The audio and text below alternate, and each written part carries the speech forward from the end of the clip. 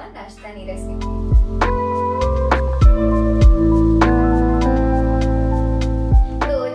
આ નાસ્તો એકદમ ઝટપટ બની જાય છે. સાથે નાસ્તો સ્વાદમાં એટલો ટેસ્ટી અને ચટપટો છે કે કોઈને ખબર જ નહીં પડે કે તમે તેને દૂધી સાથે બનાવ્યો છે. એકદમ સિમ્પલ રેસીપી છે. ચાલો શરૂ કરીએ. લખેલી રેસીપી વીડિયો સાથે જોવા માટે ગૂગલ પ્લે સ્ટોરમાંથી ડાઉનલોડ કરો નેહાસ કુકબુક એપ સાથે મારી ચેનલને સબસ્ક્રાઇબ કરી બેલ આઇકોનને જરૂરથી દબાવો. નવા રેસીપી વીડિયો સૌથી પહેલાં જોવા માટે. ચટપટો નાસ્તો બનાવવા માટે મેં અઢીસો ગ્રામ દૂધીની છાલનો ભાગ કાઢીને તેમાંથી આ રીતના રફલી પીસ કરી લીધેલા છે. કપથી માપીએ તો બે કપ જેટલા દૂધીના પીસ છે. તેને મિક્સર જારમાં એડ કરી દઈએ. સાથે મેં અહીંયા ચારથી પાંચ તીખા લીલા મરચાં લીધેલા છે. તો આ નાસ્તો થોડો સ્પાઇસી હશે તો ખાવાની ખૂબ જ મજા આવે છે.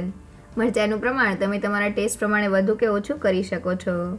સાથે એક ઇંચ જેટલો આદુનો ટુકડો, ચારથી પાંચ લસણની કડી તો લસણનો સ્વાદ નાસ્તામાં એકદમ સરસ લાગે છે. પણ જો તમે ના ખાતા હોય તો તેને સ્કીપ પણ કરી શકો છો. સાથે અડધા કપ જેટલા કોથમીરના પાન એડ કરી દઈએ. અને બધી વસ્તુ સારી રીતે પીસાઈ જાય તેના માટે વન ફોર્થ કપ જેટલું પાણી એડ કરી દઈએ. અને બધી વસ્તુને ગ્રાઇન્ડ કરી લઈએ. તો બધી વસ્તુ ગ્રાઇન્ડ થઈને આ રીતની પેસ્ટ તૈયાર થઈ ગઈ છે, જેમાં દૂધીના કોઈ પણ જાતના આખા કણ નથી. હવે તેને મિક્સિંગ બાઉલમાં કાઢી લઈએ. હવે મેં અહીંયા એક કપ જેટલો જાડો રવો, એટલે કે સૂજી રવો લીધેલો છે. તમે તેની જગ્યાએ ઝીણા રવાનો ઉપયોગ પણ કરી શકો છો.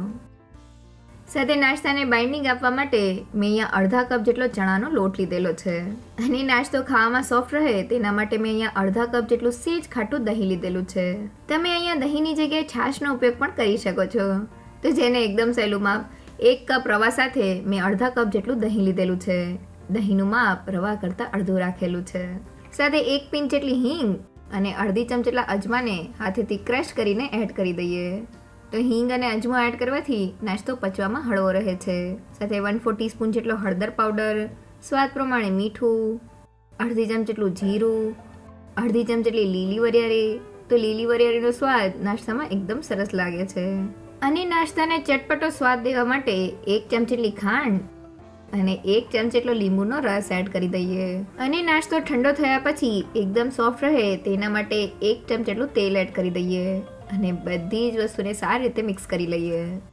તો બધી વસ્તુ મિક્સ થઈને આપણું નાસ્તાનું બેટર તૈયાર થઈ ગયું છે. દૂધીને પીસતી વખતે આપણે પાણી એડ કરેલું છે, એટલે આપણે ઉપરથી પાણી એડ કરવાની કોઈ જરૂર નથી. બેટરને આપણે આ રીતનું થીક જ રાખવાનું છે. તો હવે બેટરને ઢાંકીને વીસથી પચીસ મિનિટ માટેનો રેસ્ટ આપી દઈએ. જેથી તેમાં એડ થયેલો સૂજી રવો એકદમ સારી રીતે ફૂલી જાય. તો આપણું બેટર રેસ્ટ કરે છે. ત્યાં સુધી નાસ્તાને બનાવવા માટે મેં અહીંયા આ રીતની નાની સાઇઝની વાટકી લીધેલી છે. તો આ વાટકીમાં બનાવેલો નાસ્તો બાળકોને ખાવાની ખૂબ જ મજા આવે છે. તમે વાટકીની જગ્યાએ આ રીતની નાની સાઇઝની ડીશ કે પછી આ રીતની ઢોકળાની થાળીનો ઉપયોગ પણ કરી શકો છો. તો હવે નાસ્તો સ્ટીમ થયા પછી એકદમ સહેલાઈથી ડીમોલ્ડ થઈ જાય, તેના માટે વાટકીમાં થોડું થોડું તેલ એડ કરી દઈએ. અને વાટકીને સારી રીતે ગ્રીસ કરી લઈએ. અને મેં અહીંયા સ્ટીમરના તળિયે ત્રણ કપ જેટલું પાણી એડ કરીને તેને પાંચ મિનિટ માટે ગરમ કરવા રાખેલું છે. નાસ્તો મૂકતા પહેલા સ્ટીમરને થોડી વાર ગરમ કરવાથી નાસ્તો એકદમ ફૂલેલો તૈયાર થાય છે. તો લગભગ પચીસ મિનિટ જેવું થઈ ગયું છે. હવે બેટરને જોઈ લઈએ. તો આપણું બેટર એકદમ સારી રીતે સેટ થઈ ગયું છે. અને બેટરની કન્સિસ્ટન્સી જોઈએ તો તે આ રીતના થીક હોવાની સાથે ચમચીમાંથી પડે તેવું છે. નાસ્તા માટે આપણે બેટરને આ રીતનું થીક જ રાખવાનું છે, જેથી નાસ્તો સ્ટીમ થતી વખતે એકદમ સારી રીતે ફૂલે અને અંદરથી કાચો ન રહે. જો આ સમયે તમારું બેટર થોડું પણ પતલું લાગતું હોય, તો થોડો રવો એડ કરી દેજો અને જો વધુ પડતું થીક લાગતું હોય, તો થોડું પાણી એડ કરીને આ રીતનું પરફેક્ટ કરી લેજો. તો હવે તૈયાર થયેલા બેટરમાંથી ફૂલેલો નાસ્તો બનાવવા માટે મેં અહીંયા વન ફોર ટીસ્પૂન જેટલો બેકિંગ સોડા એટલે કે ખાવાનો સોડા લીધેલો છે. અને સોડા બેટરમાં સારી રીતે ભળી જાય, તેના માટે તેની ઉપર થોડું પાણી એડ કરીને તેને સારી રીતે મિક્સ કરી લઈએ. તો તમે જોઈ શકો છો કે સોડા મિક્સ થવાને લીધે આપણું બેટર આ રીતનું એકદમ ફૂલી ગયું છે. તો હવે તેલથી ગ્રીસ કરેલી વાટકીમાં એકથી દોઢ ચમચી જેટલો બેટરને ભરી લઈએ. તો અહીં આપણે વાટકીને આખી નથી ભરવાની. નાસ્તાને ફૂલવા માટે થોડી જગ્યા રાખવાની છે. અને વાટકીને આ રીતના થોડી હલાવીને નાસ્તાને એક સરખા લેવલમાં કરી લઈએ. અને હવે આ રીતના બધી જ વાટકીને ભરી લઈએ. અને પાંચ મિનિટ માટે આપણું સ્ટીમર પ્રી હીટ થઈ ગયું છે. તો હવે ઢાંકણને ખોલી લઈએ અને બેટર ભરેલી વાટકીને આ રીતના સ્ટીમરમાં ગોઠવી દઈએ. અહીંયા તમે સ્ટીમરની જગ્યાએ નાસ્તાને રેગ્યુલર કઢાઈમાં પણ સ્ટીમ કરી શકો છો. અને હવે ઢાંકણ બંધ કરીને નાસ્તાને મીડિયમ ટુ હાઈ ગેસની ફ્લેમ પર બારથી ચૌદ મિનિટ માટે સ્ટીમ કરી લઈએ. તો નાસ્તાને સ્ટીમ કરતી વખતે આપણે એ વાતનું ખાસ ધ્યાન રાખવાનું છે કે આપણે તેને મીડિયમ ટુ હાઈ ગેસની ફ્લેમ પર જ સ્ટીમ કરવાનું છે. ધીમા ગેસ પર આપણે તેને સ્ટીમ નથી કરવાનું. તો લગભગ બાર મિનિટ જેવું થઈ ગયું છે, હવે ઢાંકણને ખોલી લઈએ.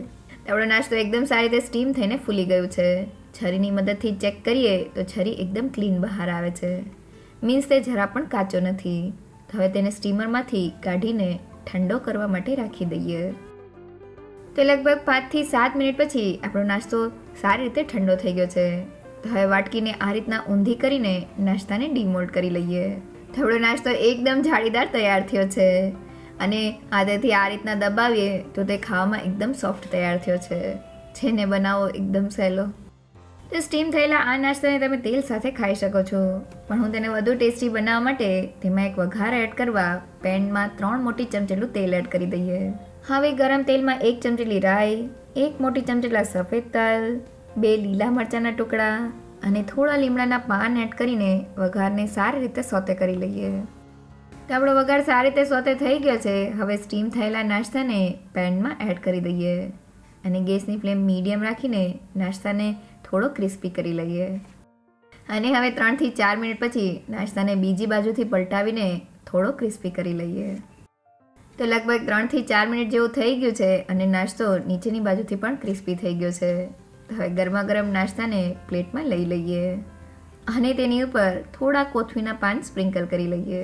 તો સવારની ભાગદોડમાં કે પછી સાંજે નાસ્તામાં ખાવાની મજા આવે તેવો ઓછા તેલમાં બનેલો દૂધીનો નવો નાસ્તો ઘરે બનાવવા માટે લખેલી રેસીપી જોતી હોય તો મેં વેબસાઇટની લિંક ડિસ્ક્રિપ્શન બોક્સમાં આપેલી છે. જો તમને મારી આજની રેસીપી ગમી હોય તો મને કમેન્ટ સેક્શનમાં જરૂરથી કહેજો. સાથે મારા વિડીયોને લાઇક અને ફ્રેન્ડ્સમાં શેર કરજો. અને મારી ચેનલને સબસ્ક્રાઈબ કરવાનું ના ભૂલશો. તો ફરી મળીએ એક નવી રેસીપી સાથે.